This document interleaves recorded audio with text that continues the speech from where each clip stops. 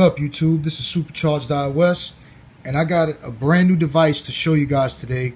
It's called a UG007B and it's an Android mini PC.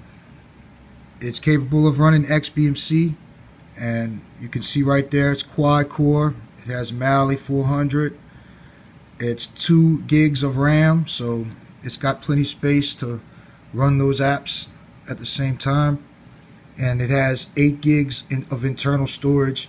You can also get a 16 gig model, but I didn't feel the need to get the 16 gig model since I'm going to be extending with the micro SD. So I'll have add my 32 gigs of memory onto it anyway. So this is what it looks like. It's wrapped up in plastic. Now as you saw, this is exactly the way it came. The box itself wasn't wrapped in plastic, but it is brand new and this will be completely sealed up when you get it.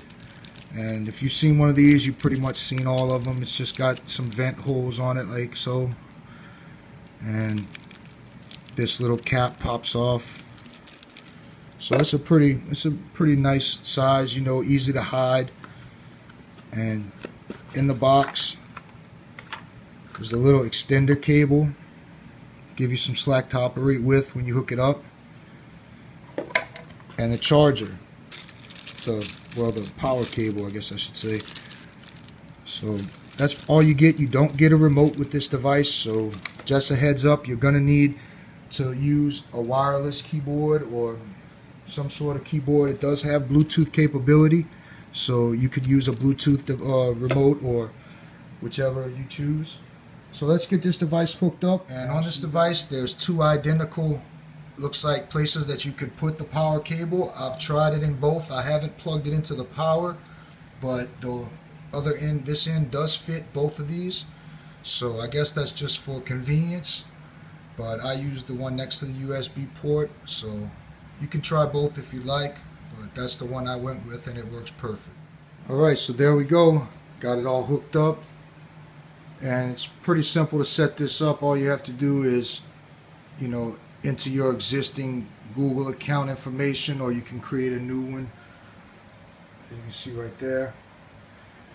And I didn't have much luck with this extender. In fact that was the problem where I was getting no picture. So I just went ahead set that out and just plugged it straight in the HDMI port on the side like that. Now if your TV is on the wall like mine you probably won't be able to put this in the back of your television but it's working out for me on the side so I'm gonna stick with that. And I went ahead and did away with the USB hub because it's a little too bulky to be hanging down. So that's for my wireless keyboard which is right here. As you can see works perfectly. I know a lot of other devices have issues with the mouse slowing down and laggy. This one works fairly well.